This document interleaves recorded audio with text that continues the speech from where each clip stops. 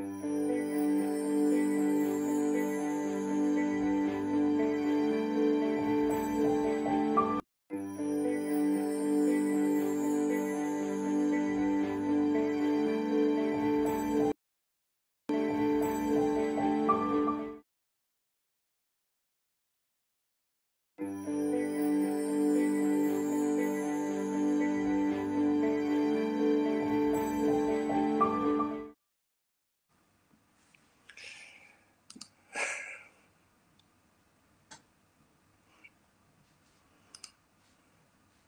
panie profesorze, witam serdecznie. Mamy dzisiaj dziesiąte, dziesiąte spotkanie mamy dzisiaj, taka okrągła rocznica.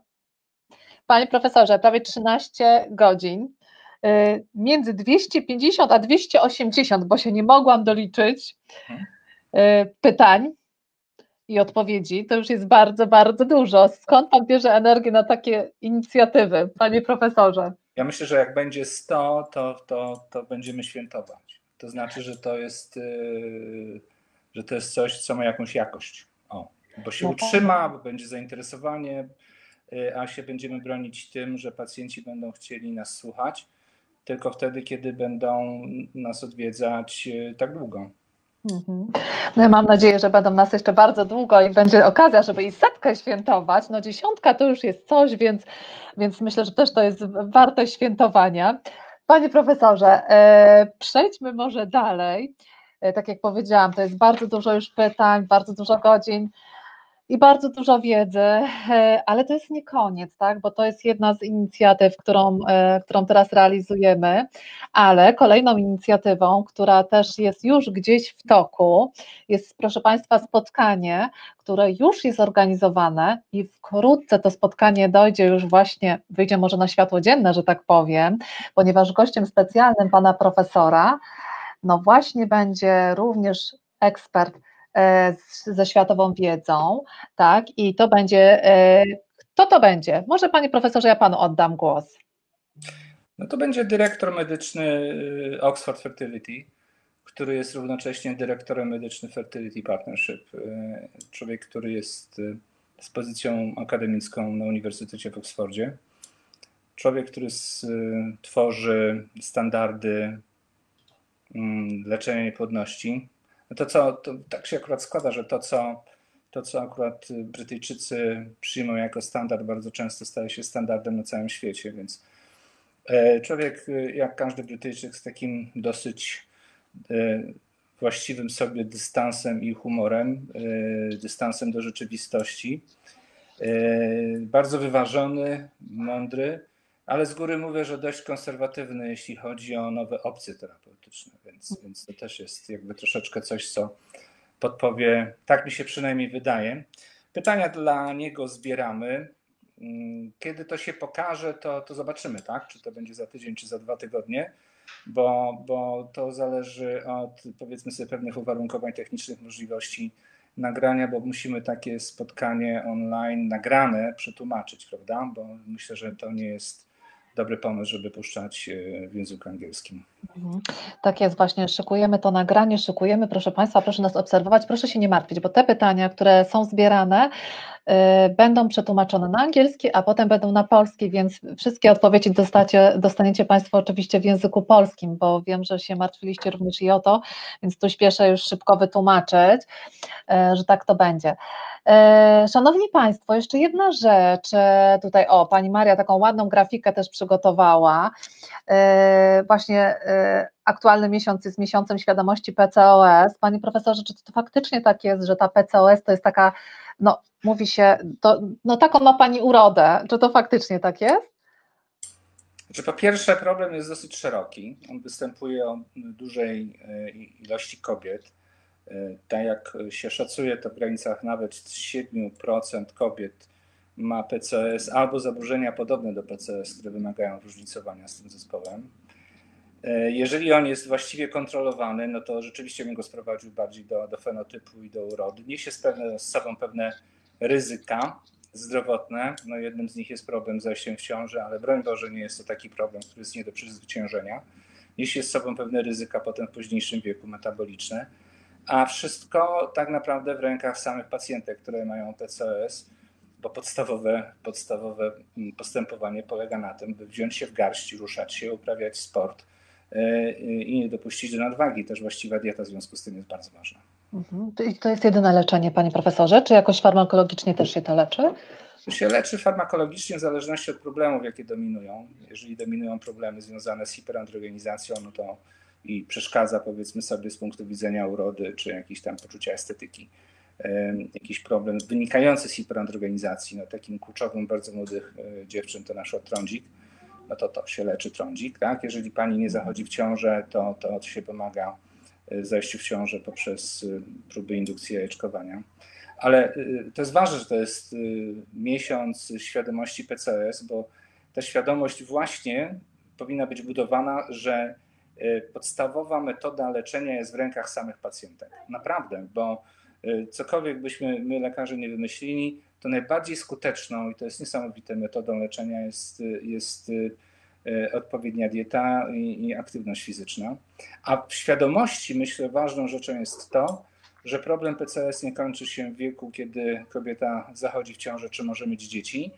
Czyli jeżeli ma PCS, zachodzi w ciążę, rodzi dziecko, ten problem wtedy się nie kończy, ponieważ predyspozycja do pewnych problemów ona pozostaje. Im starsza jest pani, tym większe jest ryzyko występowania problemów niezwiązanych wcale z płodnością, tylko z mm, zaburzeniami metabolicznymi, ryzykiem wystąpienia cukrzycy, wtórnie miażdżycy, nadciśnienia, zawałów, udarów itd. Tak mhm. Dlatego świadomość jest ważna. Jak się diagnozuje PCOS? Tylko USG, czy jeszcze są jakieś inne techniki?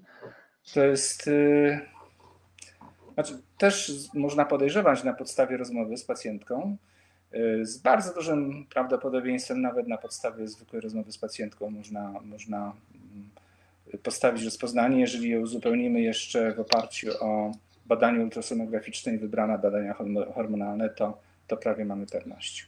Mhm.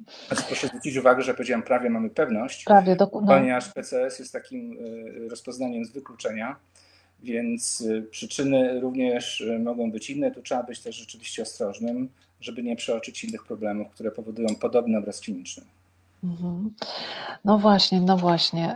Y, Panie profesorze, wiele właśnie kobiet y, y, wychodząc właśnie od ginekologa właśnie mówisz, no najprawdopodobniej właśnie mam PCOS i to jest właśnie chyba to, co właśnie Pan przed chwileczką powiedział.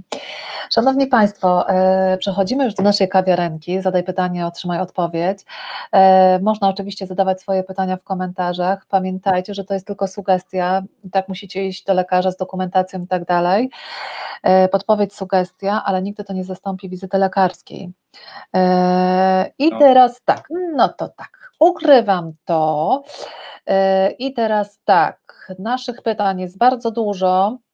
Zaczniemy od tych takich najprostszych, tych, e, które, które są króciutkie. Dobrze, dobrze. Oczywiście będę wklejać, żebyście Państwo też widzieli, e, o czym profesor mówi. Wiem, że dochodzicie w każdej chwili. Jeszcze jedna uwaga, szanowne Panie. E, w różnych grupach zamkniętych jest teraz oglądany nasz film. Przypominam, że naszego że, że ja nie będę widziała, jeżeli tam zostawicie swoje pytanie, nie będę widziała waszego pytania. Musicie wejść na profil otwarty Niepłodni Razem i w komentarzu pod filmem zostawić swoje pytanie, wówczas dopiero będę mogła je przeczytać, bo inaczej nie widzę. W mojej grupie Obudź sobie życie Daria mi przekazuje, więc bądźcie dziewczyny spokojne. No to dobra, ja uciekam, bo to, o tak, dobrze, dobrze, dobrze, no i bach i zaczynamy. Pierwsze takie pytanie na rozgrzewkę i to bardzo dużo dziewczyn ma z tym problem, pecherzyk rosną ładnie, ale nie pękają. Dlaczego tak się dzieje i co z tym zrobić?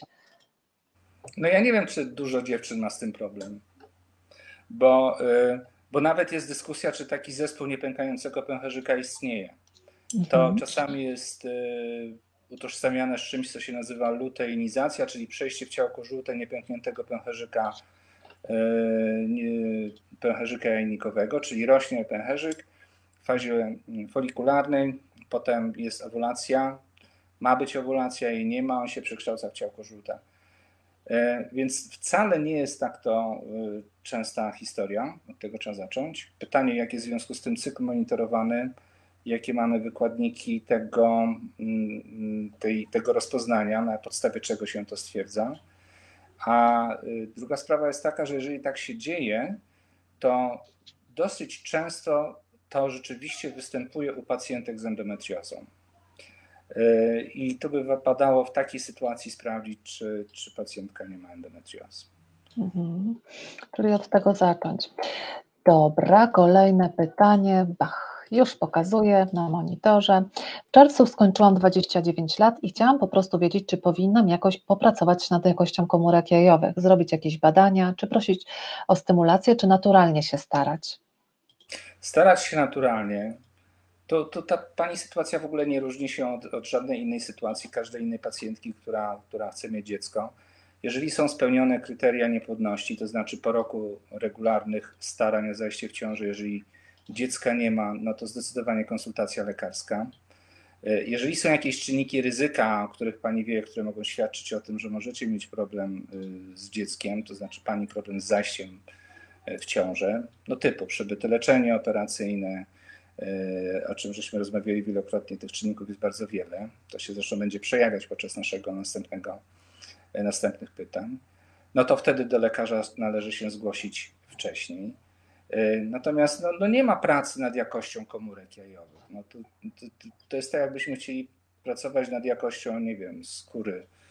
E, to jest po prostu zdrowy styl życia, to jest automatycznie e, jakość komórek jajowych, ale nie tylko wtedy, kiedy chcemy mieć dziecko, tylko całe życie w miarę możliwości, jeżeli to się da.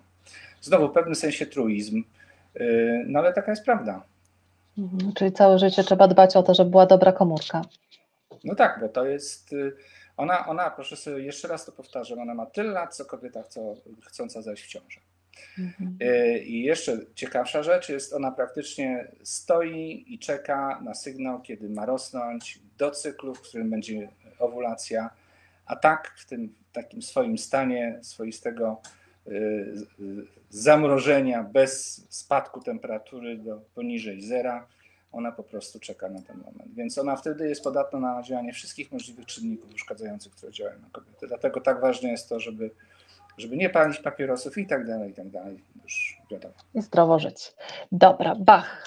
Następne pytanko. Mam niską rezerwę jajnikową i 38 lat. Czy lecząc się mam szansę na zajście w ciążę? No tu jest... Yy, 38 lat i niższa rezerwa jajnikowa, no to jest jakby może być adekwatna do wieku. Y, pytanie, czy znowu są spełnione kryteria, które pozwalają na to, by mówić o niepłodności, ale diagnostykę w ogóle niepłodności u pań w tym wieku uważam, że absolutnie można rozpocząć zdecydowanie wcześniej, wcale nie trzeba czekać roku, żeby zgłosić się do lekarza. No i ta diagnostyka, ona obejmuje te same kroki, te same elementy, które dotyczą wszystkich innych pacjentek. Niska rezerwowa, rezerwa, rezerwa jajnikowa 38 lat, trzeba iść do lekarza i w zależności od tego, jak niska jest ta rezerwa jajnikowa, czy współistnieją inne problemy, to na podstawie tego będzie można stwierdzić, y, czy pani będzie miała szansę na zajście w ciążę, czy nie. Ale rezerwa jajnikowa, to jeszcze raz mówię, to co zawsze mówiłem, to jest trochę y, tak, jakbyśmy mówili o niskiej ilości paliwa, czy małej ilości paliwa w samochodzie. Pacjentka E, nadal może zaś w ciążę przy niskiej rezerwie jajnikowej, bo to jest jakby taki wykładnik ilościowy płodności. Jakościowy to jest, to jest, to jest, to jest jakość komórki jajowej. Więc nawet przy niskiej rezerwie jajnikowej kobieta ma cykle owulacyjne i może zajść w ciążę. To wcale nie znaczy oczywiście, że, że musi się bardzo długo starać, zanim pójdzie do lekarza. Nie, to trzeba akurat wcześniej rozpocząć diagnostykę, żeby zidentyfikować inne problemy i przystąpić do, ewentualnie do leczenia specjalistycznego. Panie profesorze, po co się szczepi limfocytami partnera? Nie wiem. To znaczy, no bo... przepraszam, rozumiem ideę, bo, bo e, generalnie e, tu chodzi o taką sytuację, że jeden z elementów czy hipotez, które mówi o tym, że do nawracających strat wciąż dochodzi wtedy, E, kiedy e, układ immunologiczny rozpoznaje antygeny, antygeny ojcowskie, e, te, które występują w zarodku, bo zarodek jest biologiczną sumą matki, matki i ojca. Kiedy te antygeny nadrozpoznawane, czy rozpoznawane przez układ immunologiczny są antygenami, które przyczyniają się potem przez, do eliminacji układ, przez układ immunologiczny zarodka. I te szczepienia limfocytami partnera mają wytworzyć pewną tolerancję immunologiczną w stosunku do, do zarodka. Takie jest założenie. No i tu jest znowu temat, czy to działa, czy nie działa. I, no i właśnie odsyłam do, do tego dnia, kiedy będziemy z teamem rozmawiać na ten temat, e, bo, bo ciągle jest dwugłos w tym temacie. E, jak zwykle bardzo sensowna z punktu widzenia koncepcji e, empirii teoria, na ile jest skuteczna, trudno powiedzieć, bo nadal brakuje naprawdę cały czas przekonywujących badań, czy, czy, to, czy to działa. Mhm. Ale muszę powiedzieć, że ona jest stosowana e, w niektórych krajach, w innych z kolei jest praktycznie zakazana. Zawsze to mówiłem, że to jest, to jest w tym temacie jest duży dwugłos. Mhm. Tutaj jest pytanie, już jest wyświetlone, na co zwrócić uwagę, jeśli poroniłam cztery razy. No i właśnie przed czwartą ciążą pani wybrała szczepienie limfocytami, ale jednak nadal się nie udało. Dotrwaliśmy tylko do dziesiątego tygodnia ciąży. Gdzie jeszcze szukać przyczyny? No to, to jest, jeżeli tu jest, jeżeli tu są cztery straty ciąż, no to pytanie, czy, czy była w ogóle diagnostyka? Zakładam, że była. Mam nadzieję, że była tych podstawowych. Yy, podstawowych e, czynników, które przyczyniają się do nawracających strat ciąż. Ja o tym wielokrotnie mówiłem. Trzeba mieć pewność, że macica jest przygotowana do, do implantacji. Tutaj e, USG ewentualnie w połączeniu z, z dobrym, z, z hysteroskopią diagnostyczną. To raz. Testy genetyczne, taki podstawowy screening to, to, to kariotypy. E, badania w, w, kierunku trombofilii, trombofilii wrodzonej, trombofilii nabytej, to są całe panele takie diagnostyczne, mhm. E, które powinny być wykonane. I tu to, to, to są te jakby podstawowe elementy, które, które, które, które powinny być zbadane, ale nawet proste rzeczy, tak, bo nawracające straty ciąż, no to z takich anatomicznych tematów dlaczego mówię ultrasonografia? Daję przykład w tej chwili. No mięśniaki macicy chociażby są y, przyczyną nawracających strat ciąż. Y, zaburzenia układu immunologicznego pewnie tak, no ale na ile jesteśmy w stanie dobrze diagnozować i w odpowiedni sposób reagować na to, to jest, to jest osobne zagadnienie. Mhm. Kolejne pytanie. Już Państwu też pokażę, chociaż ono jest e, dość długie, pytanie numer 5. O, hop. I już przeklejam, żebyście Państwo też widzieli chociaż początek. Czy odchudzanie może mieć wpływ na starania o drugie dziecko? Po pierwszej ciąży bardzo przytyłam, miałam też epizod depresyjny. Nie mogłam pogodzić się z wagą i zaczęłam drastycznie odchudzaniem. Byłam na kilku dietach, między innymi Dukana. Waga spadła, a ja odzyskałam radość życia. Tak mi się wydawało. Teraz jem normalnie, staram się jeść dużo warzyw i chudego mięsa. Moje BMI jest w normie, ale nie mogę zaś w ciążę. Staramy się 7 miesięcy. Miesiączki stały się mniej obfite i nieregularne. Dietę zaczęłam, gdy córka skończyła 6 miesięcy i trwało to prawie 8 miesięcy. Mimo, że schudłam dużo szybciej, miesiączki po porodzie dostałam po, czwarty, po 4 miesiącach. Czy to wina diety, czy to może być coś innego? Co zbadać? Mam 29 lat. Czy w ogóle, żeby skrócić odpowiedź na to pytanie, to powiem jasno. Bardzo dobrze, że pani schudła. Dobrze, że pani ma prawidłowe BMI. I tym się nie należy martwić, że pani schudła do prawidłowego BMI. To raz. Więc y, tym się nie martwimy. Dieta nie powinna być eliminacyjna w takim stopniu, żeby była ograniczona podaż jakiegokolwiek y, substratu, który jest niezbędny do tego, by prawidłowo funkcjonować. Natomiast jeśli chodzi o diagnostykę, to to są zdarzenia niezależne. I niezależnie od tego, że pani miała taką, nazwijmy to, przygodę związaną z wahaniami wagi ciała, to powinna po prostu pani podejść do zwykłej, klasycznej diagnostyki niepłodności. Bo to, że były tego typu problemy, wcale nie znaczy, że te problemy z tego teraz wynikają. One mogą niezależnie od tego wynikać z parametrów nasienia, z zaburzeń jajeczkowania, z problemów związanych z drożnością jajowodów itd., tak itd. Tak Czyli najnormalniej w świecie zwykła diagnostyka niepłodności. O tym oczywiście lekarzowi trzeba wspomnieć, o czym jest tutaj napisane, bo to może mieć jakieś znaczenie, ale generalnie rzecz biorąc, trzeba po prostu rozpocząć cały ten proces diagnostyczny, który jest związany z określeniem przyczyny niepłodności. No właśnie, i tutaj chyba będzie tak podobna odpowiedź. Po ciąży miałam głęboką depresję i byłam leczona. Syn ma teraz 6 lat, a ja bardzo bym chciała zajść w drugą ciążę. Od dwóch lat nie udaje nam się to. Nie badaliśmy się, głównie dlatego, że mąż ma obawy, że po kolejnym porodzie historia depresji powróci. To był ciężki czas, mamy po 32 lata. Jakie badania zrobić? Rozumiem problem y, depresji poporodowej. Y, to jest bardzo poważny problem. I rozumiem związany z tym teraz strach, bo utożsamiany z konkretną przyczyną, dla której pani może mieć e, tę, nazwijmy to, niechęć do zajścia w kolejną ciążę. Z tego, co mi wiadomo, to są zdarzenia niezależne. Znaczy, jedna, jedna depresja poporodowa wcale nie jest takim czynnikiem, który jest, e, który powinien nas upoważnić do tego, że z większym prawdopodobieństwem wystąpi depresja poporodowa po kolejnej ciąży. To jest jedna informacja. E, a druga jest taka, jak pani powiedziała, pani Sylwio, rzeczywiście tutaj po prostu zwykła diagnostyka niepłodności klasyczna powinna się rozpocząć, bo y, mogą mieć tutaj miejsce różne czynniki, które są niezależne od tego, co występowały wcześniej.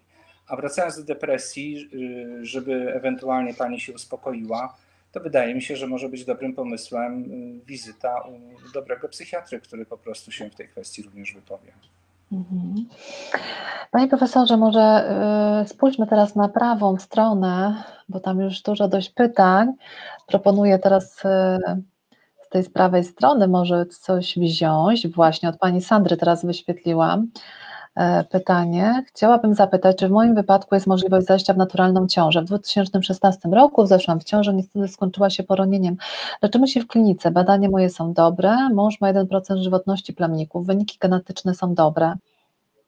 Ja nie wiem, czy się Pani nie pomyliła, 1% żywotności plemników to jest skrajnie zły wynik.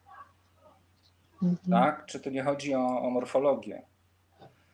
E, e, jeżeli jest żywotność 1%, to jest bardzo poważny problem i to jest wskazanie do zapłodnienia pozaustrojowego.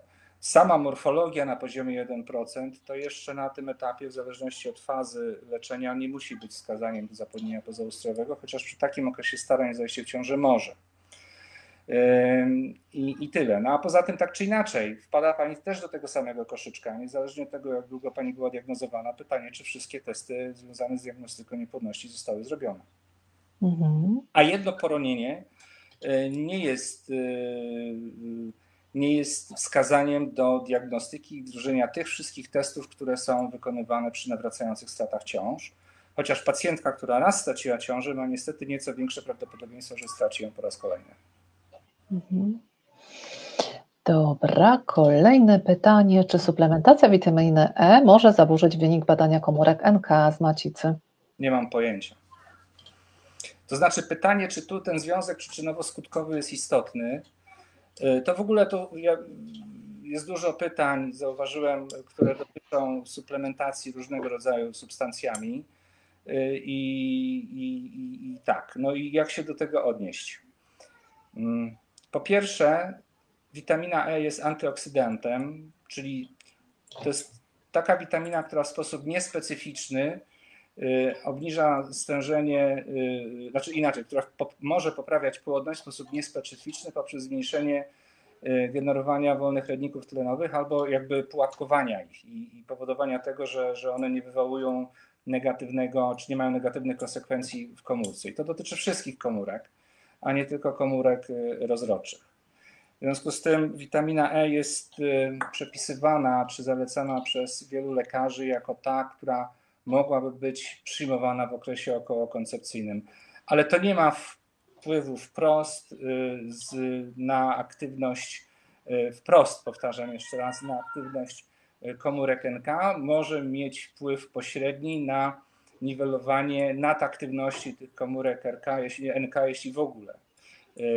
Od tego trzeba zacząć, jeśli w ogóle. Tak?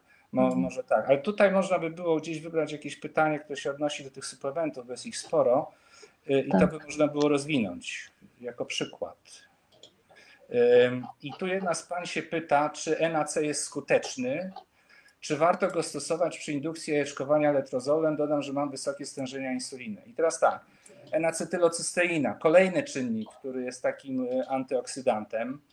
I y, i teraz tak, jeżeli letrozo, to zaburzenia jajeczkowania, insulinooporność, ja zakładam, że to jest zespół policystycznych jajników i proszę zwrócić uwagę, w żadnych rekomendacjach dotyczących leczenia pacjentek z zespołem policystycznych jajników nie jest napisane, że należy dawać czy brać jakieś suplementy diety, które mogą mieć nawet korzystne potencjalne działanie antyoksydacyjne. Nie jest. Tak? Schemat jest taki, indukcja letrozolem, jeżeli się nie uda, indukcja cytrynianem klomifenu, jeśli się nie uda, cytrynianem klomifenu i metforminą, jeśli się nie uda, gonadotropinami, jeśli się nie uda, to albo drilling tak zwany operacyjny, czego nie polecam, najczęściej uważam lepszą opcją jest od razu zapłodnienie pozaustrojowe. Ale punktem wyjścia w ogóle leczenia i podejścia do PCO to jest, co powiedziałem na początku, to jest modyfikacja diety.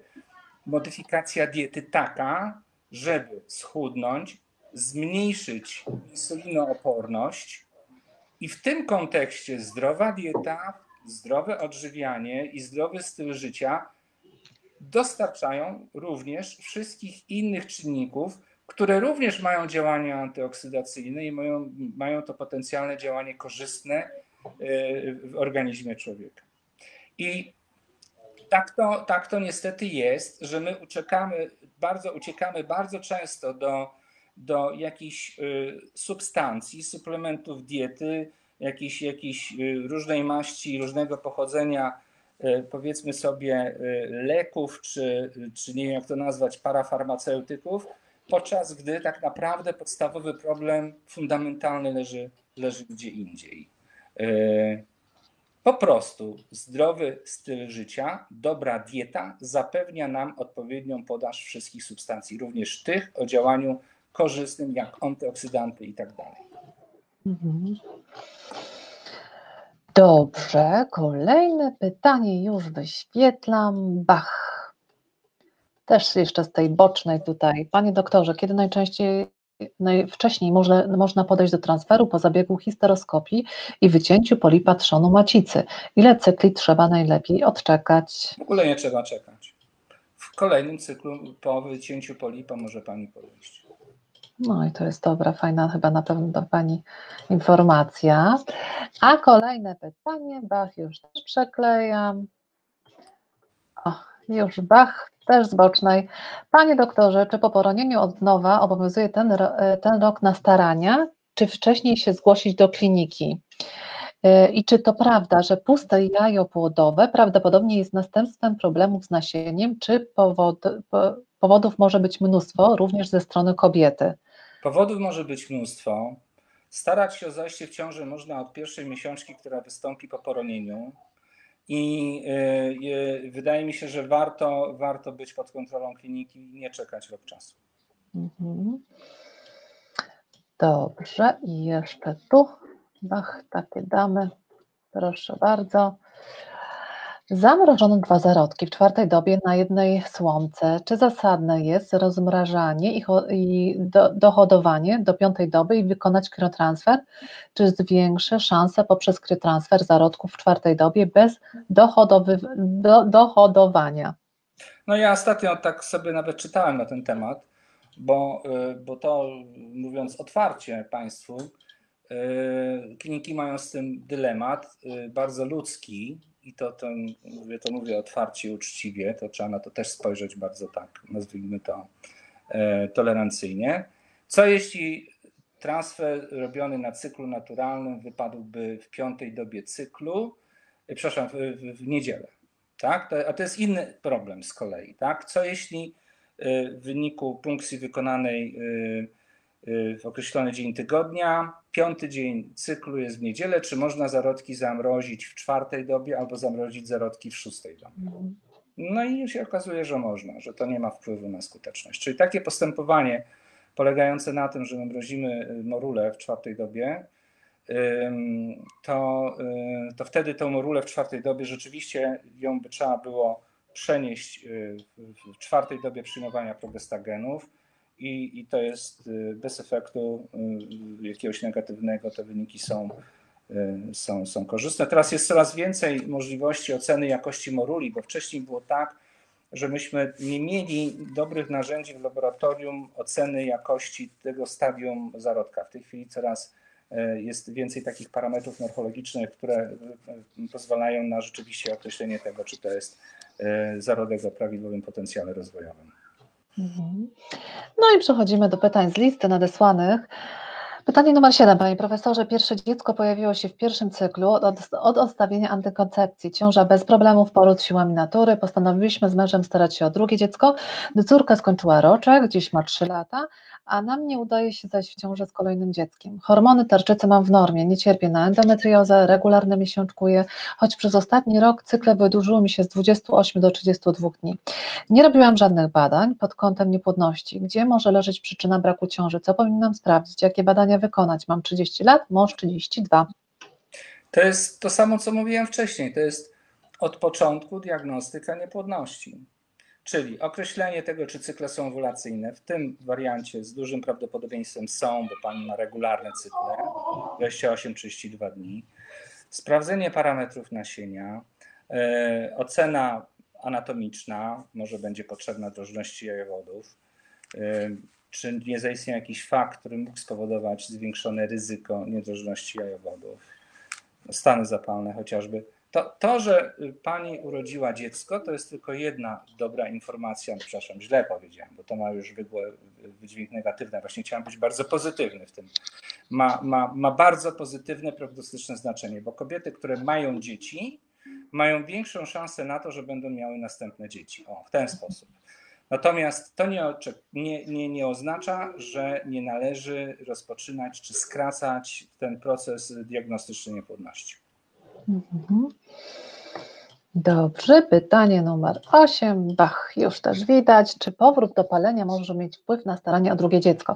Przed pierwszą ciążą paliłam 5 lat. W trakcie ciąży nie, wypaliłam ani innego papierosa, tak samo przez całe bliskie 2 lata okresu karmienia piersią. Od pół roku niestety powrócił nauk. Zbiegło się to z naszymi staraniami o drugie dziecko. Czy to może być główną przyczyną, czy należy zbadać się pod kątem hormonalnym albo innym? Ja mam 28, partner 32. No, y, palenie to jest jeden z najsilniejszych, y, znaczy największych problemów y, w zakresie płodności u kobiet. Więc palenie papierosów to jest zmniejszenie płodności przynajmniej o połowę, to jest dwukrotne zwiększenie prawdopodobieństwa poronienia, to jest dwu, trzykrotne zwiększenie prawdopodobieństwa występowania wad rozwojowych u dzieci. To jest wyższe ryzyko wystąpienia ciąży pozamacicznej, o czym na przykład pacjentki nie wiedzą. Innymi słowy, i to jest tak istotny, istotny czynnik niepłodności. To raz. Po drugie, to, że pani przez jakiś okres czasu nie paliła, to oczywiście dobrze, ale pozytywne konsekwencje odstawienia tego nałogu to y, występują po pewnym czasie. Można powiedzieć nawet po y, miesiącach, jeśli nie latach. To też należy wziąć pod uwagę palenie więcej niż pięciu papierosów już jest, jest problemem. To jest kolejny czynnik, który, który jest ważny. I ostatnia informacja jest taka, że niezależnie od tego, jak bardzo wydaje się y, istotny albo widoczny związek przyczynowo-skutkowy między paleniem papierosów a tym, że nie ma w chwili obecnej ciąży, to należy tak czy inaczej przeprowadzić inne testy zmierzające do ceny płodności. Mhm.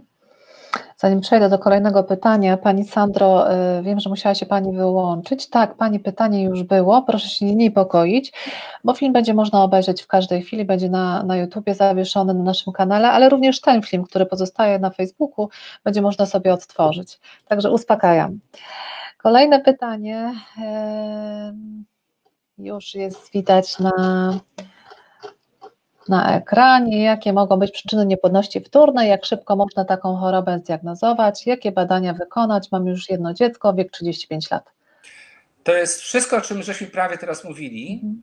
Y, o tej pacjentce, która y, się odchudzała, a ma dziecko, tej, która miała depresję, a ma dziecko, tej, która urodziła drogami naturalnymi, 3 lata nie zachodzi w ciąży, tej, która paliła i, i urodziła dziecko, bo przestała palić, jak się wydawać by mogło to, to i teraz znowu się staranie zachodzi w ciąży, to, to są wszystko przypadki tak zwanej niepłodności wtórnej, czyli kobieta była w ciąży, poroniła albo urodziła i znowu nie może zajść w ciążę. To jest niepłodność wtórna.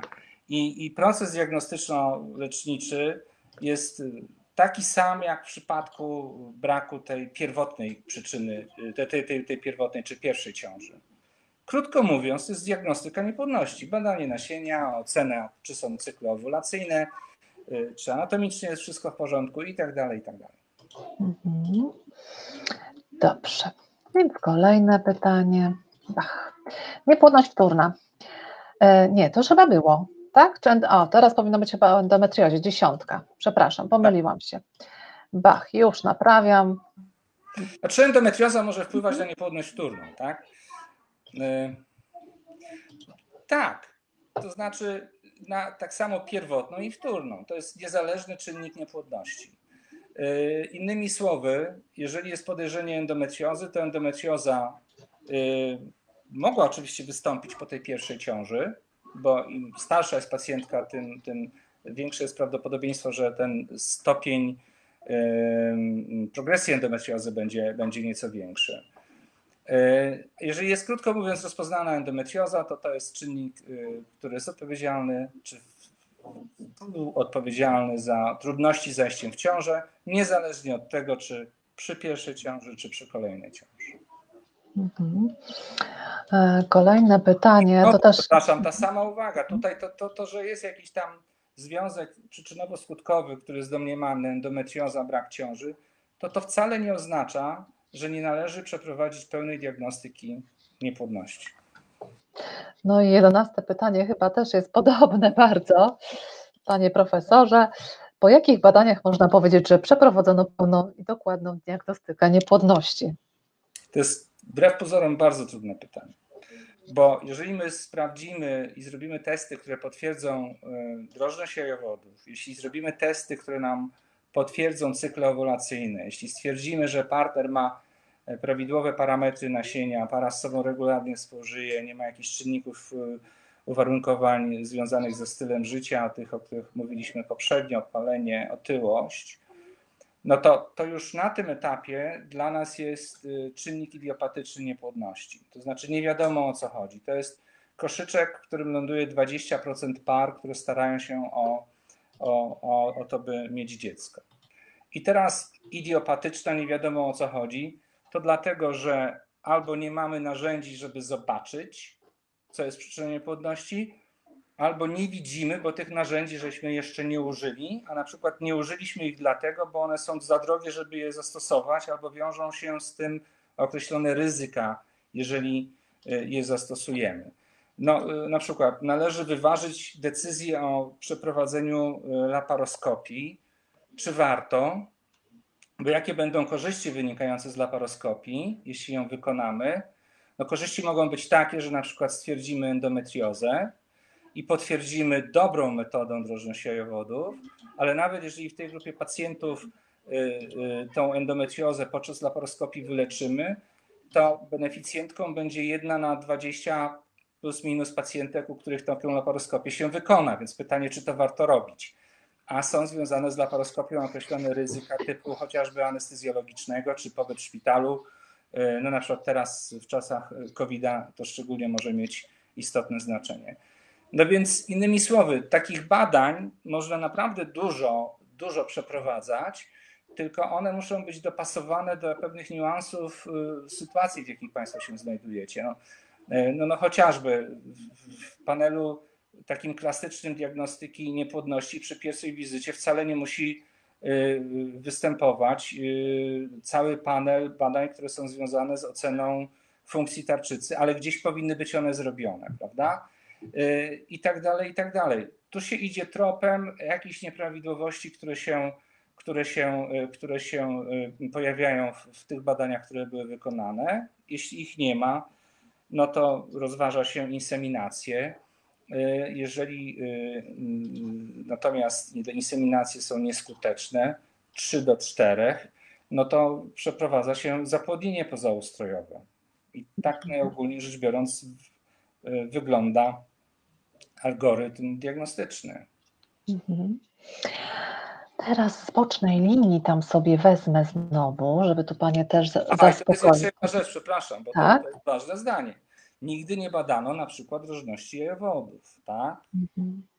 No to to nie jest niepłodność idiopatyczna, jeżeli my nie wiemy, czy pacjentka ma drożne lub niedrożne jajowody, tak? Mhm. To już tak nawiasem mówiąc, że tu nie ma nie ma podstaw do tego, żeby można było powiedzieć, bo jest luka diagnostyczna. I mhm. tyle.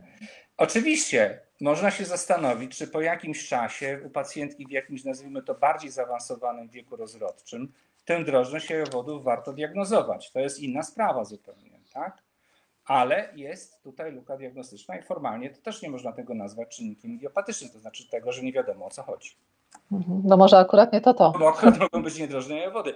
Pytanie, czy stwierdzenie drożności jajowodów w tej sytuacji, w której Państwo się w chwili obecnej znajdujecie, zmienia postępowanie, tak? To jest inna historia, tak? Bo jeżeli już na przykład doszliście do zapłodnienia pozaustrojowego, no to wtedy fakt niedrożności jajowodów nie ma znaczenia, chyba że niedrożność jest w ujściach brzusznych, gdzie są tak zwane wodniaki jajowodów, a te wodniaki przed in vitro na przykład powinny być usunięte. Mhm. Więc y, ta informacja akurat uważam, wbrew pozorom jest, jest ważna, tak? Bo może to być to. Dobra, lecimy dalej. No i tak, z bocznej linii, czy po kilku niepowodzeniach zatrzymanie rozwoju zarodków po trzeciej dobie, warto zbadać inhibinę B. Czy ten parametr może coś powiedzieć o jakości komórki jajowej? 37 lat, AMH 3,9, FSH w trzecim dniu cyklu 8,5 do 9,5. Ja, ja nic nie wiem o takim powiązaniu, naprawdę.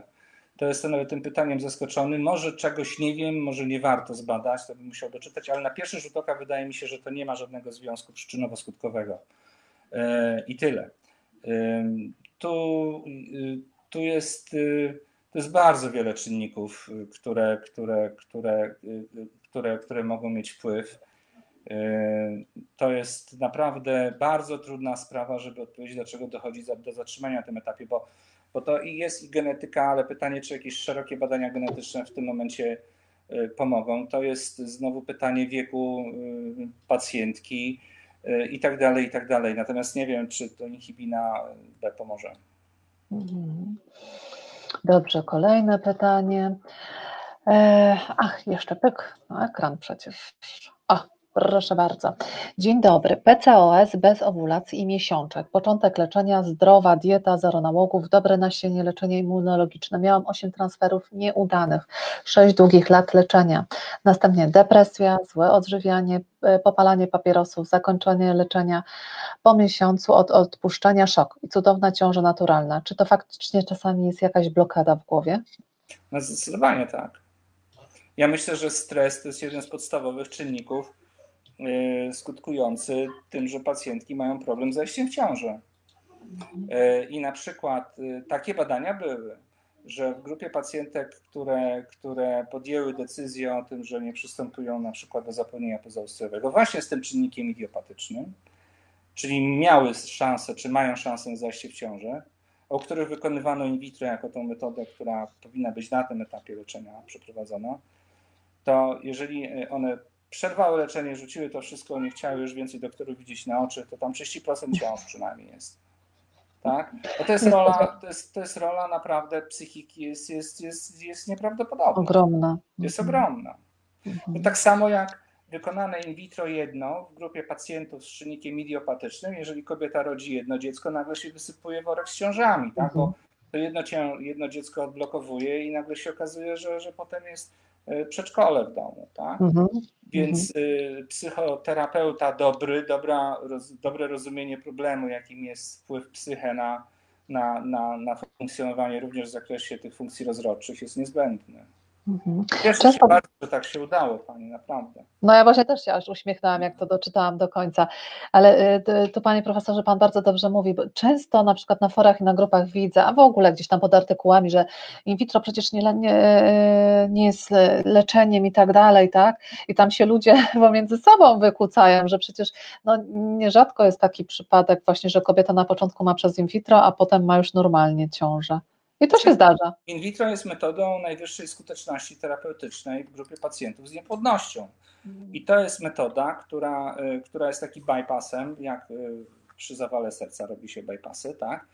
Y, albo się anatomicznie wykorzystuje własne naczynia krwionośne do ominięcia miejsca, gdzie jest, gdzie jest, gdzie jest zablokowane krążenie tętnicze w sercu, tak, żeby człowiekowi ratować życie, albo szczepia się sztuczne no to też nie jest metoda lecznicza w rozumieniu takim, że, że leczymy miażdżycę, bo predyspozycja do miażdżycy nadal będzie występować, ale ratujemy człowiekowi życie. życie.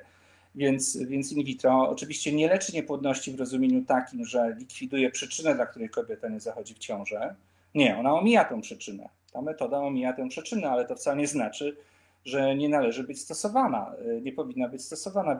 Wiele, metod w medycynie omijają, omija problemy, które, które powodują występowanie konkretnych objawów i y, problemów zdrowotnych. Nie leczymy podstaw i przyczyny, ale omijamy i potencjalne konsekwencje tego. I w ten sposób działamy korzystnie. Dokładnie. Bach. Następne pytanie. Do ilu razy podchodzić do transferu?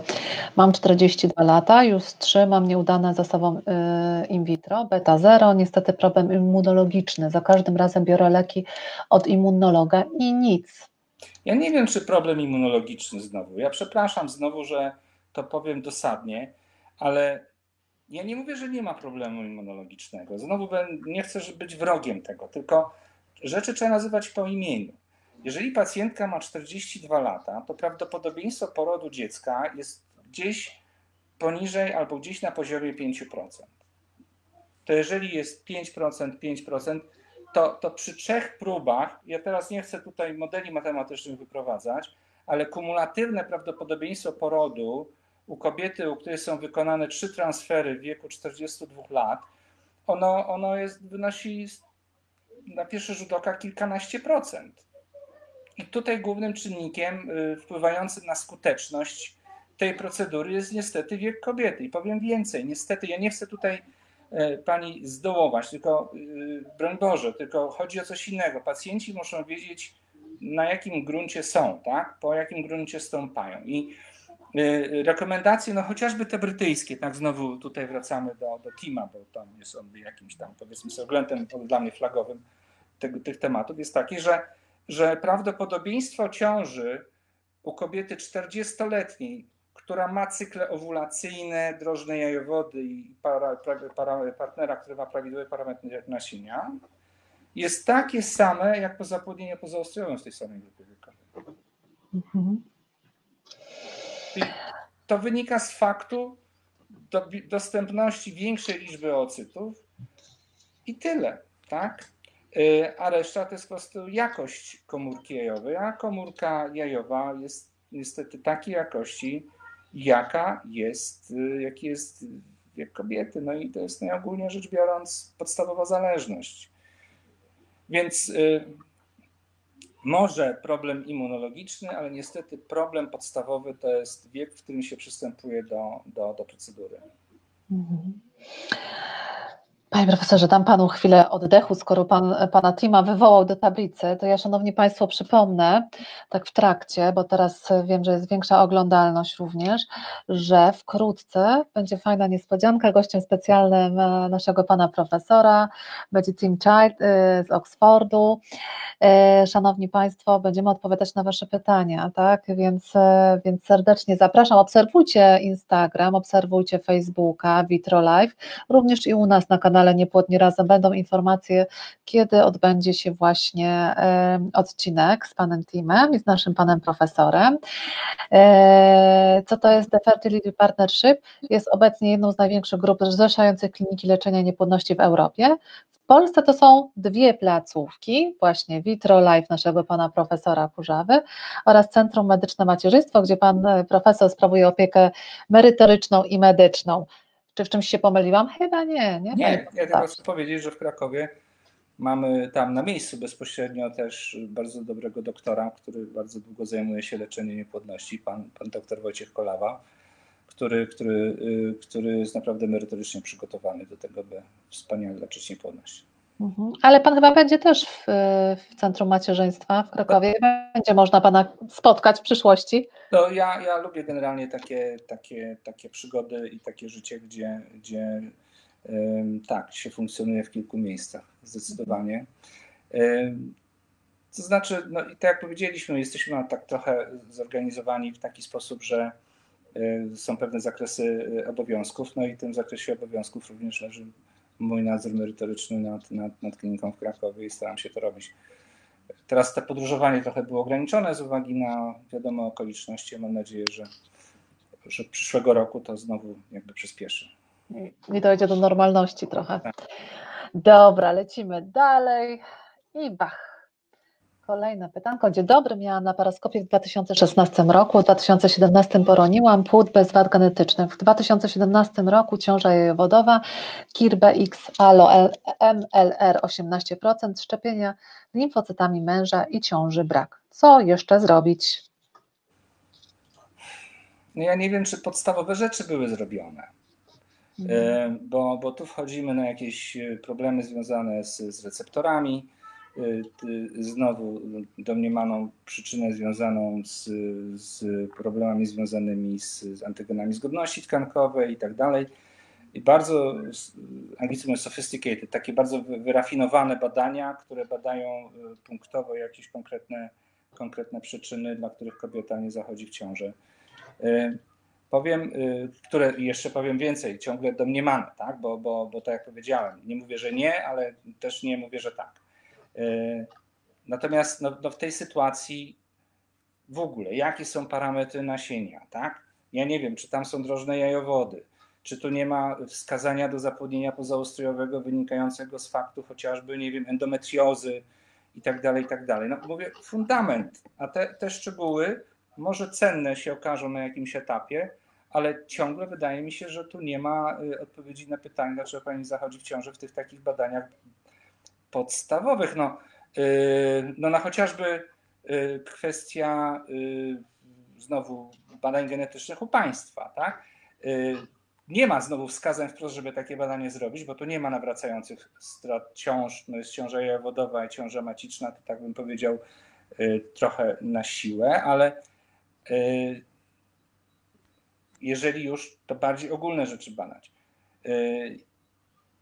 Papierosów i tak dalej, i tak dalej.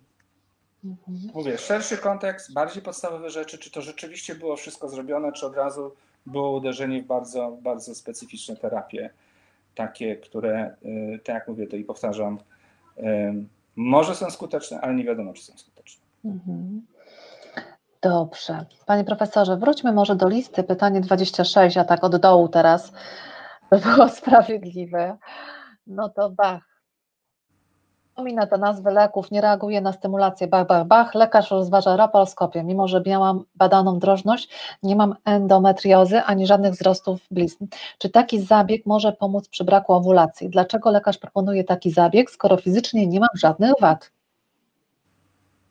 Ja nie mam tego pytania, bo to jest. Yy... O, ale no to już przekrajam. Bo ja rozumiem, że to jest intencja taka, aby zrobić laparoskopię u pacjentki, która ma cykle bezowulacyjne no to wszystko zależy od tego, czy były podjęte próby indukcji jajeczkowania. Mhm. E, pytanie jest również takie, czy była jakaś ocena drożności jajowodów. Czy tutaj laparoskopia nie jest narzędziem, które miałoby służyć ocenie drożności jajowodów u pani, bo są na przykład jakieś czynniki ryzyka niedrożności jajowodów. E, I wtedy przy, przed indukcją jajeczkowania czasami, jeżeli się stosuje leki droższe, na przykład gonadotropiny, to, to odpowiedź na pytanie, czy jajowody są drożne, jest bardzo ważne, no bo, bo po, co, po co wydawać pieniądze na terapię, która się może zakończyć y, niepowodzeniem. Więc mówię, ten kontekst jest ważny, ale co do zasady, jeżeli y, problem tkwi w zaburzeniach jajeczkowania, to oczywiście powinna być indukcja jajeczkowania z y, wcześniejszym, w większości wypadków z wcześniejszym potwierdzeniem drożności jajowodów, szczególnie w kontekście ceny leków. Chyba, chyba że te metody stymulacji jajeczkowania, indukcji jajeczkowania byłyby w oparciu y, o takie leki, które są, są tańsze. Y, no i tutaj ta laparoskopia mm, to pewnie służy temu, by sprawdzić, czy jajowody są drożne. Mhm. No dobra, to to pytanie już musi na pewno Pan mieć. Tamto to faktycznie wkleiłam, bo jeszcze jedna Pani prosiła. E, dobra, już chyba się wyświetla, tak? Dzień dobry, panie profesorze. Tak, jesteśmy e, po pierwszej procedurze ICSI, w której pobrano cztery oocyty. Mam 32 lata, AMH 0,34, FSH 12 oraz Hashimoto. Czy przy tak niskim AMH przy kolejnej procedurze należy spodziewać się podobnej ilości pobranych komórek, czy istnieje szansa na większą ilość? To po pierwsze, jedna informacja jest taka, że pobranie czterech oocytów przy AMH04 FSH12 jest, to jest, to jest całkiem niezły wynik stymulacji jeczkowania. Nie wiem, jakie tam są dalsze konsekwencje zapłodnienia tych oocytów, czy powstały zarodki, czy były jakieś niepowodzenia, niepowodzenia transferów, bo to też jest ważne. Natomiast y, przy niskim AMH, y, jeżeli stymulacja byłaby robiona cykl po cyklu, to można się spodziewać pobrania nieco większej liczby komórek jajowych, ale wcale tak być nie musi. Z tym jest taki zresztą, czy nawet w, takiej stymulacji, która się rozpoczyna w lutealnej fazie cyklu bezpośrednio po pierwszej punkcji, jest taka koncepcja tak zwanej podwójnej stymulacji. Y, to, to wtedy przy tej drugiej stymulacji można pobrać y, nawet y, więcej ocytów niż po pierwszej. Natomiast jeżeli te odstępy między stymulacjami są, są dłuższe, no to, to mniej więcej się należy spodziewać podobnego efektu jak przy pierwszej stymulacji. Mhm. I kolejne. Bach, już widzimy, panie profesorze, przy mutacji MTHFR. Hetero, bam, bam, bam. Nie będę tego czytać, bo sobie chyba język płamie. Należałoby brać heparynę przed przystąpieniem do procedury in vitro, czy dopiero przed transferem, czy po. I czy przy tych mutacjach suplementacja folianami oraz metylokobalamina mhm. wystarczy? Ta mutacja heterozygotyczna C677 łamane na T, to jest, ja to mówiłem wielokrotnie, ona, ona coraz częściej jest utożsamiana z zaburzeniami e, implantacji, zaburzeniami układu krzepnięcia i może te zaburzenia implantacji wynikają częściowo z faktu właśnie tych, tych zaburzeń układu krzepnięcia. E, I jedną z formą korekty tego problemu jest właśnie suplementacja kwasem foliowym, i witaminą B12. To jest dyskusja, czy to ma być folia, czy to może być zwykły kwas foliowy, ale na pewno ten kwas foliowy powinien być przyjmowany w takiej czy w innej postaci. To raz. W wielu też pracach pojawia się takie zalecenie, żeby do transferu zarodków albo we wczesnej ciąży podawać właśnie heparynę. Ja, ja się z tym zgadzam. To jest takie, takie jest moje doświadczenie. Ja naprawdę w to wierzę. I szczególnie dotyczy to MTHFR 667C na T, natomiast w mniejszym stopniu zdecydowanie tej drugiej, 1298. Natomiast ten PAI to jest kolejny temat, który jest może niedopowiedziany, bo to jest tak, to jest układ tak zwanego plazminogenu, to jest taka substancja, która jest odpowiedzialna za z kolei działanie związane z rozpuszczaniem y, y, zakrzepów, czyli bardzo korzystny układ, a to jest tak zwany inhibitor aktywatora tego plazminogenu. Skomplikowana sprawa, czyli coś hamuje aktywator. Jak, jak on jest zahamowany, to nie ma tego, tego, tego rozpuszczania i, i znowu działanie takie zwiększające krzepliwość w związku z tym.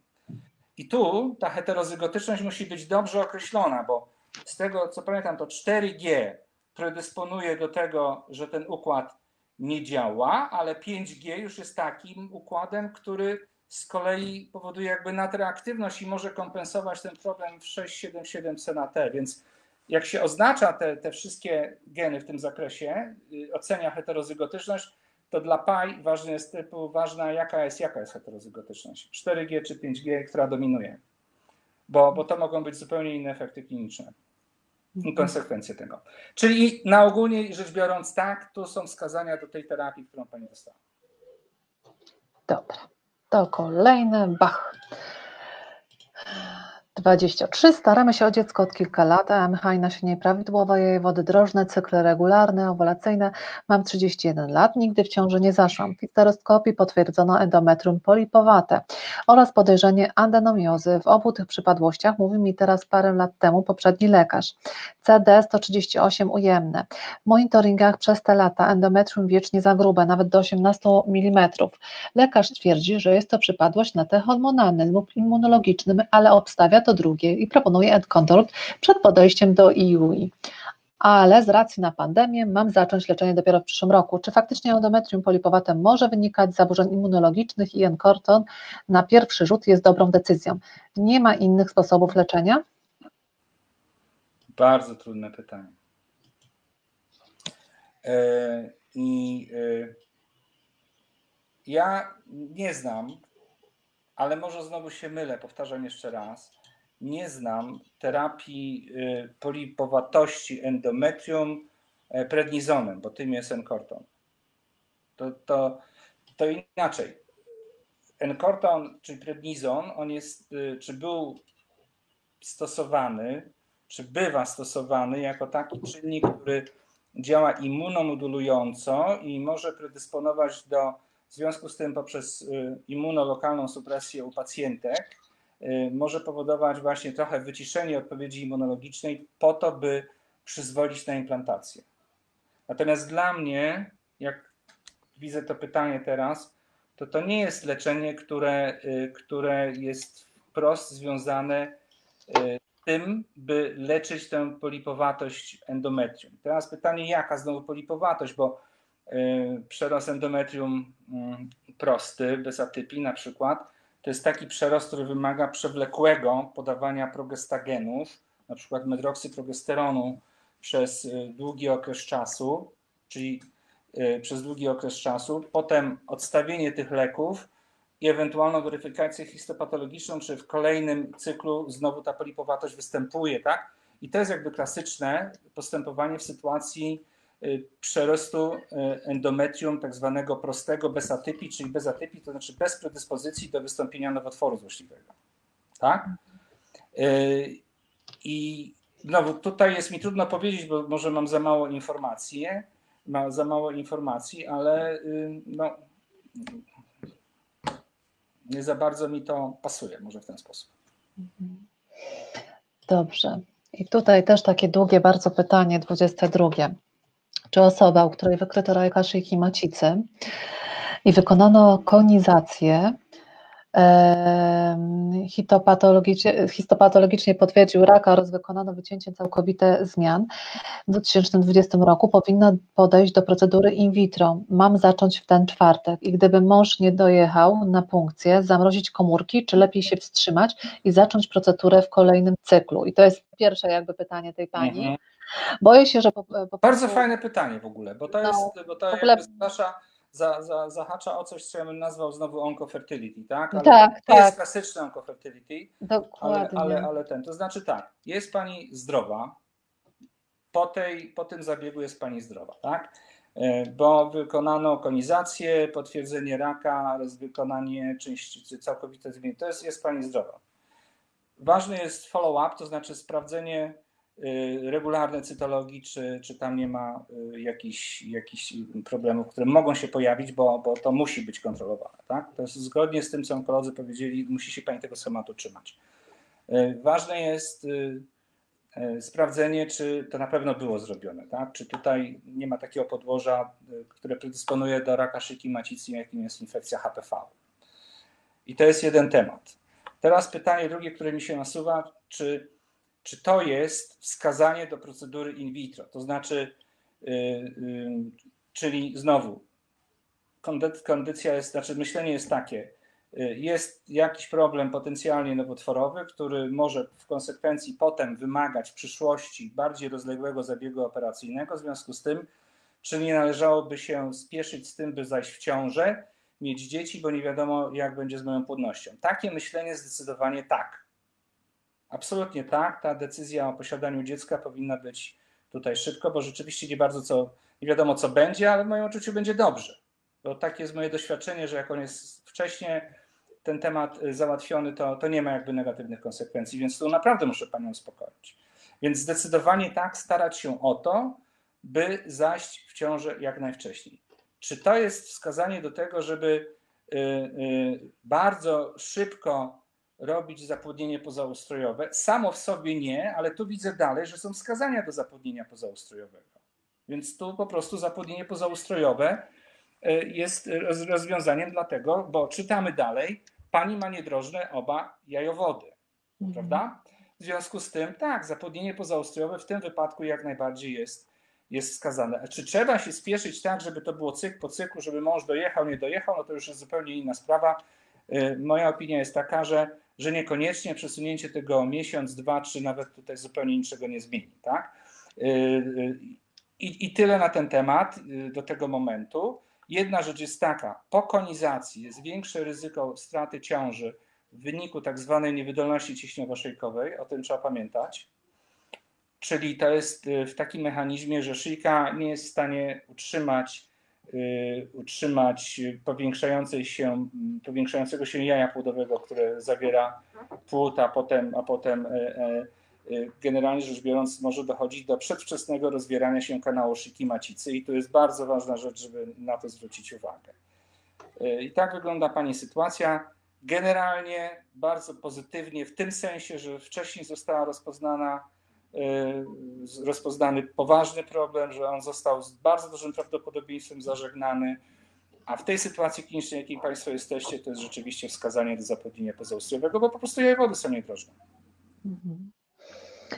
No i dobra, i bierzemy znowu z... To jest jeszcze jedna rzecz. No i mam mhm. też pytanie, jak to w końcu jest z tym kwasem foliowym.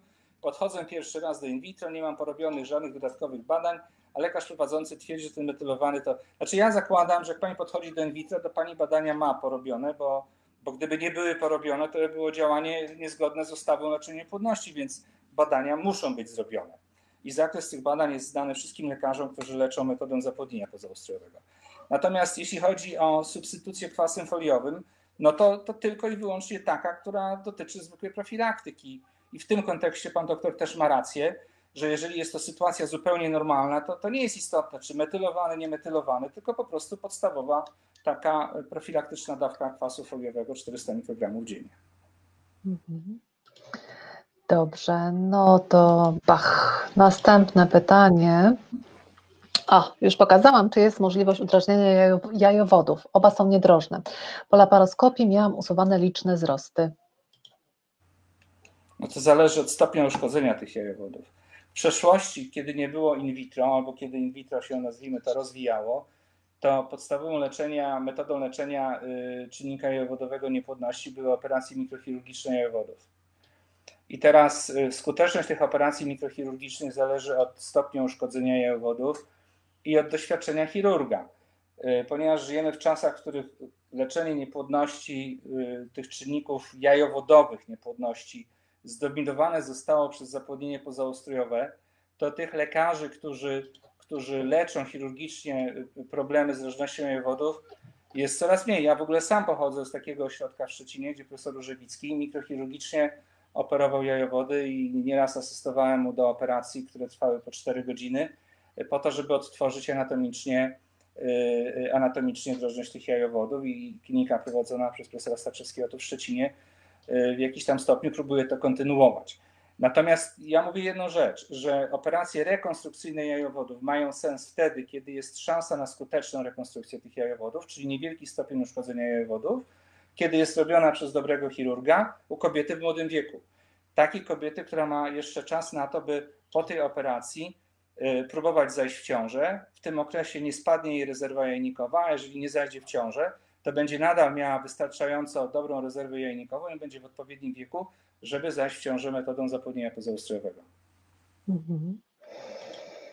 Kolejne pytanie. U mnie dwa poronienia, później osiem transferów, beta nigdy nie rknęła. Endometrioza drugi, trzeci, drugi, trzeci stopień. Jajowody drożne, Hashimoto, yy, insulinooporność, reszta przebadana, wszystko ok, a ciąży brak. Leczenie już trwa 6 lat. Ja mam już 42 lata. Co można jeszcze zrobić? Zawsze blastki miałam. Endometrium około 7-8 mm. Czy to może być problem? No tutaj się pojawił ten problem tej mutacji czynnika 5 Leiden. No to pytanie, czy pani ma heparynę i tak, bo tak mi się wydaje, że, że tak należy to rozumieć do, do transferów. A reszta to tak jak powiedziałam też wcześniej, no, głównym czynnikiem rokowniczym to jest, to jest wiek pacjentki. I, no i znowu, no niestety, spodziewane prawdopodobieństwo ciąży to jest takie, jak mówiłem wcześniej, porodu dziecka w tym wieku to jest w granicach 5%. No średnio oczywiście, nie mówię, że takie są pani, ale, ale, ale jest generalnie niskie. Porodu, mhm. powtarzam. Ciąży to jest coś innego, ale nas interesuje dziecko. Mhm. Tu jest e, przypadek znowu taki krótki. O, tam. E, o, już wyświetlam. Jak długo należy starać się naturalnie o ciążę przy PCOS? Czy od razu można przejść do stymulacji na prośbę pacjentki? No jeżeli pani ma zespół policystycznych jajników i ma pani BMI powyżej 30, ma pani insulinooporność współistniejącą, no to pierwszy krok polega na tym, by schudnąć, zmodyfikować dietę, doprowadzić do tego, by e, e, stężenie insuliny zostało wyrównane. Trzeba oczywiście sprawdzić jeszcze przy współistniejącej otyłości, czy nie ma zaburzeń tolerancji y, glukozy, tak? Bo to też jest istotny element. Czyli dieta, dieta, jeszcze raz dieta. Natomiast jeżeli jest Pani szczupłą dziewczyną i to, to sytuacja jest tego typu, że absolutnie indukcja jajeczkowania. A poza tym, teraz dopiero zobaczyłem na końcu tego postu, Dobrze, pani go wyświetliła? Nic nie? Tak, tak, tak, tak. To jeżeli pacjentka ma 42 lata, to na tak, nic nie trzeba tak, czekać. Tak, tak. Trzeba od razu się zabrać za robotę mhm. i wtedy równocześnie wszystko naraz robić. Mhm. E, dobra, badanie ANA. ANA 1. Już też widać. Ojej, mi się tu zgubiło. Dobra, czy badanie przeciwciał ANA1 jest istotne w negocjowaniu niepłodności i przyczyn poronień? Kiedy badanie się takie, y, kiedy się bada takie przeciwciała? W ogóle w standardach tego nie ma. Ale to wcale nie znaczy, że to, że, że mówię, no, że ten czynnik ten e, e, immunologiczny niepłodności nie istnieje. Y, I amerykańskie standardy w tym zakresie są ostrożne, europejskie też. W naszych polskich w ogóle tego też nie ma.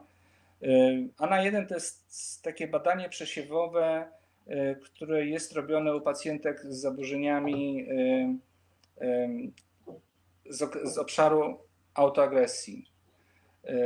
I ono jest stosowane standardowo w diagnostyce chorób przez reumatologów jako, jako takie. Natomiast w zakresie diagnostyki niepłodności zastosowania znowu zgodnie z wytycznymi nie ma. I teraz Niektórzy je robią jako taki, taki, taki, taka, taką próbę sprawdzenia, czy ewentualny czynnik immunologiczny może być przyczyną niepłodności, ale znowu znaczenie jest, jest, jest, jest nieznane no i bardzo, bardzo mało specyficzne. Czyli tak to mhm. niestety wygląda. To pokazuje Państwu, że różne rzeczy próbujemy robić, ale tak naprawdę poruszamy się po bardzo takim naprawdę niepoznanym do końca jeszcze gruncie. Mhm. Bach. Następne. Czy można w tym samym cyklu przyjmować leki immunosupresyjne i mieć scratching endometrium lub histeroskopię, czy lepiej e, robić to cykl po cyklu? No, no, no co ja mam powiedzieć? No. Yy, każda z tych interwencji, która tutaj jest wypisana, to jest interwencja, która nie wiadomo, czy ma w ogóle jakiekolwiek znaczenie w poprawie skuteczności leczenia. I tyle. To nawet ten scratching, który się wydaje tutaj najbardziej taki, e, powiedziałbym, e, sprawdzony, w tym sensie, że było dosyć dużo badań, które, które dotyczą scratchingu, ciągle nie zasługuje na to, by zapalić mu zielone światło, że on jest skuteczny w poprawieniu implantacyjności endometrium, bo ciągle nie ma dowodów, że on działa. Myśmy mieli taką fazę, że robiliśmy wszędzie u pewnej grupy pacjentek przed, przed w cyklach poprzedzających scratching i na tym materiale, który, który przynajmniej ja oglądałem, to, to u nas to specjalnie nie wyszło. Y, badania, które są prospektywne, czyli zaplanowane w taki sposób, że pacjent jest śledzony od samego początku do wyników w postaci ciąży i porodu dziecka, jeszcze trwają. Nie ma, nie ma danych na ten temat, czy danych wynikających z, z oceny tych badań. Ostatnia taka ewaluacja przez ekspertów była. Yy, niecały rok temu i podsumowanie wyników dotyczących scratchingu i ciągle nie wiemy, ciągle nie wiemy, czy jest to metoda, którą, którą należy zalecać. Już nie mówiąc o tym ekoralu, a Encorton to z tego co wiem, to ma niestety, ale mm, no nie ma najlepszych opinii w tej chwili y, w rozumieniu takim, że, że poprawia skuteczność. Mhm. I tu takie krótkie pytanko. Nasienie męża tylko 3% prawidłowych plemników. Czy jest szansa na naturalną, naturalne zapłodnienie? Szansa na naturalne zapłodnienie jest. Badanie nasienia powinno być zrobione dwukrotnie, żeby zobaczyć, czy ta nieprawidłowość jest, jest powtarzalna. A poza tym 3% to jest izolowany y, pewien parametr. Istotna jest ruchliwość, istotna jest koncentracja y, plemników i, i, i, to, są, to jest, to jest wyrwane z kontekstu. Sama morfologia na poziomie 3% to nie jest jednoznaczna przyczyna braku ciąży. Może być pewnym wykładnikiem, powiedzmy sobie, problemu męskiego, nie prowadzącym do tego, że nie ma szansy na naturalną ciążę, może zmniejszającym prawdopodobieństwo ciąży. I już Następne. Fragmentacja DNA plemników 25% plus wolne, ja laparoskopia trzy, trzy cykle temu. Wycięte ognisko endometriozy, torbiele, wzrosty jajowody droż, e, drożne, ovulacja potwierdzona, trzy straty w dwa lata, trombofilia, niedobór białka S, PAI. Czy inseminacja ma sens? Zależy ile jest, jaki jest okres starań o zajście w ciążę. Czy te trombofilie, nie wiem czy były diagnozowane czy stwierdzone, to czy, czy tu jest zastosowane jakieś leczenie, y, czy powiedzmy sobie profilaktyka ewentualnych problemów, które z tego y, wynikają, y, to klasyka jest też taka, jeżeli pacjentka leczy się, no to też troszeczkę wybór między inseminacją a zapłodnieniem pozaustrojowym w pewnym momencie to jest, to jest przy założeniu odpowiedniego wieku pacjentki, to tak troszeczkę jest wynikiem konsensusu, który jest zawierany między lekarzem a, a, a pacjentką yy, czy parą. Dlatego, że para wcale nie musi się czuć dobrze z propozycją robienia od razu zapłodnienia pozaustrojowego. To jest, to jest naprawdę ważne, żeby pacjentka była przekonana do tego, że, że, że in vitro powinno być u niej zastosowane. Jeżeli w tym ma pomóc między innymi inseminacja, to jak najbardziej jak najbardziej tak, bo pani sama w zgodzie musi być, akceptując pewne propozycje leczenia. Y, natomiast proszę pamiętać o tym, żeby nie leczyć się w sposób jałowy bardzo długo, w tym sensie, że y, marnować czas, lata czy miesiące na to, by, by uzyskać ciążę, bo, bo tak naprawdę po trzech latach od momentu Y, rozpoznania czy problemu z zajściem w ciąży, to są wskazania do zastosowania in vitro i to u młodych kobiet, tak? u, u starszych jeszcze wcześniej. To raz i, i znowu z tego wynika znowu kwestia wieku. Tak? Jeszcze raz, jeżeli pani ma lat 38, to bym w ogóle nie próbował tutaj już inseminacji, tylko raczej by wszedł w kierunku zapłodnienia pozaustrojowego. Jeżeli ma pani lat, y, nie wiem, 29-30, no to, to, to, to, to jest trochę więcej luzu. Mhm. O, i tutaj takie pytanie. E, jakie badanie pod kątem problemu z zagnieżdżeniem można wykonać po nieudanych transferach, gdzie beta nawet nie drgnęła? Histeroskopia nie wykazała żadnych nieprawidłowości. No i znowu to samo, bo, y, bo nie ma takich badań, które by były jednoznacznie wskazane w przypadku nawracających niepowodzeń y, transferów czy zapłodnienia pozaustrojowego. Co się próbuje, to ja już mówiłem. Genetyka, badania w kierunku trombofilii, y, no, histeroskopię pani miała. Y, USG rozumiem, że pokazuje, że jest wszystko w porządku. No niestety jest to ciągle obszar, który my do końca nie wiemy, jak się poruszać. Mhm. E, już dajemy o PTOS pytanie. Ach. Już pokazuję. PTOS i AMH 17,05 staramy się na cyklach stymulowanych półtorej roku. Czy taki wynik jest za wysoki? Czy można jakoś obniżyć AMH? Czy ma to duży wpływ na jakość komórek jajowych? Mam 27 lat, a wody drożne, męże nasienie wprost idealne. No to jest zespół policystycznych jajników. Jak pani nie ma otyłości, jeżeli nie ma insulinooporności, no to, no to y, indukcja jeczkowania ale znowu te półtora roku stymulacji to trochę za długo, bo jeżeli były cykle owulacyjne, a pani przez półtora roku mm, po występowaniu cykli owulacyjnych nie zaszła w ciążę, no to się robi krok dalej. E, I, i tyle, tak? To, to raczej w tą stronę by, by moje rozumowanie szło, a nie tego, czy AMH jest za wysokie, bo w tym momencie ta, te, te wartości AMH na poziomie 17 rozumiem, nanogramów na mililitr, to one jakby dodatkowo potwierdzają rozpoznanie zespołu policystycznych jajników. Mhm. Panie profesorze, jeszcze wrzucę pytanie o endometriozie. Endometrioza trzeciego stopnia, torbiel endometrialna 3 cm. Test Roma lekko przezroczysty. Czy podchodzić do procedury, czy najpierw jakieś leczenie? Znaczy tu CA125 jest też y, markerem w pewnym sensie endo, endometriozy, czyli u pacjentek z endometriozą przy oznaczeniu CA125 należy się liczyć z faktem wyższych wartości C tego, tego antygenu, jak go mierzymy. To, więc tym się, tym się nie martwimy, tak? Powiem tak. Natomiast jeżeli pani chce zajść w ciążę, to pani nie powinna brać wizanę i tyle. Bo wizane jest lekiem, który powoduje to, że pani nie ma w trakcie przyjmowania wizane szansy na zajście w ciążę, a wcale nie ma większej płodności po odstawieniu wizane i tyle.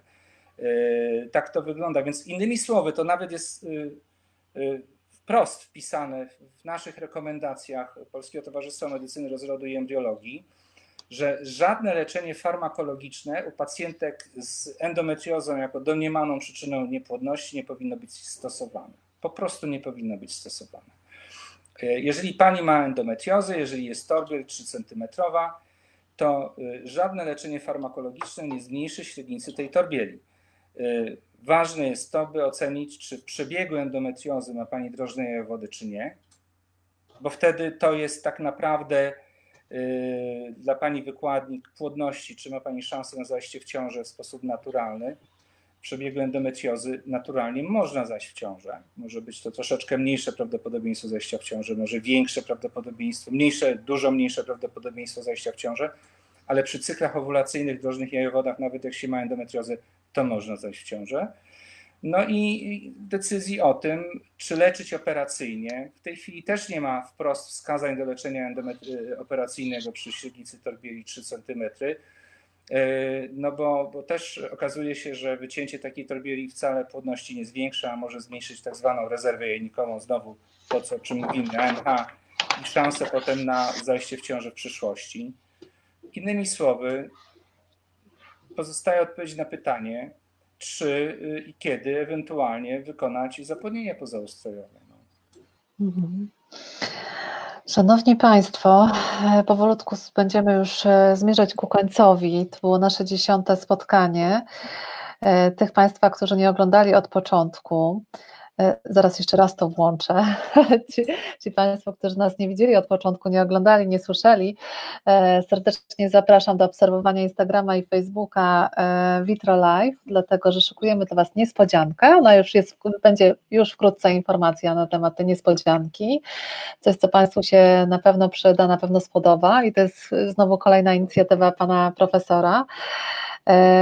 Zapraszam do obserwowania, bo poinformujemy, kiedy będzie gość pana profesora, pan Tim Child, z którym pan profesor prze, e, będzie rozmawiał, będzie odpowiadał na państwa pytania i to będzie, i sama czekam naprawdę bardzo, bardzo, bardzo na to, bo jestem bardzo tej rozmowy bardzo ciekawa, ale jeszcze raz muszę to zrobić, panie profesorze. Ja wiem, że pan się złapał za głowę, ale ja muszę jeszcze raz to zrobić. O. Muszę. E, dziękujemy Szanowni Państwo, że przez te 10 odcinków byliście z nami. Oczywiście jak, e, jak co czwartek o 17.30 Was serdecznie zapraszamy. Oczywiście będziemy w kolejny czwartek, będziemy jeszcze w kolejny czwartek, więc serdecznie zapraszamy. A co, na dzisiaj? Serdecznie dziękuję Panie Profesorze. No rozbawiłam pana, no chyba rozbawiłam pana tym, tym filmikiem. No trochę się kupiłem, no ale cóż. No. no to co to będzie, jak będzie setny odcinek? A to będzie zupełnie inna rozmowa. I będzie petarda, obiecuję. E, panie profesorze, dziękuję za dzisiaj. Bardzo dużo pytań. Nie wszystkie przerobiliśmy, przepraszam, proszę Państwa, ale tego jest naprawdę bardzo dużo i nie, nie, nie dodążamy. Kolejny raz bardzo dziękuję Panie. My również dziękujemy, Szanowni Państwo, że przez te 10 odcinków byliście z nami, chcecie z nami spędzać ten czas. Zapraszamy, tak jak mówię, co czwartek 17.30. Pan profesor jest dla Was, zadaj pytanie, otrzymaj odpowiedź. Kawiarenka jest dla Was, Szanowne Panie i Panowie, bo wiem, że też nas słuchają. Dziękujemy za serduszka, dziękujemy za podziękowania. No i na dzisiaj co? Do zobaczenia, do zobaczenia i raz do, jeszcze raz do zobaczenia. Pozdrawiam Was wszystkich cieplutko. Do usłyszenia, Panie Profesorze. Dziękuję. Do widzenia.